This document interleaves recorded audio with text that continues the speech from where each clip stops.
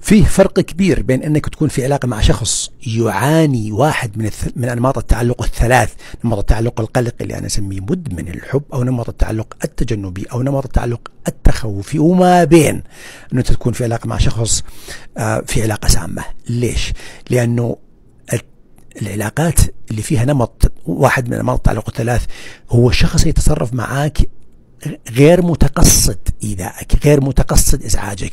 ليش؟ لأنه يتصرف من باب انعكاسات. لتلك الجروح القديمة قد تكون جروح طفولة صدمات طفولة أو جروح في الروح.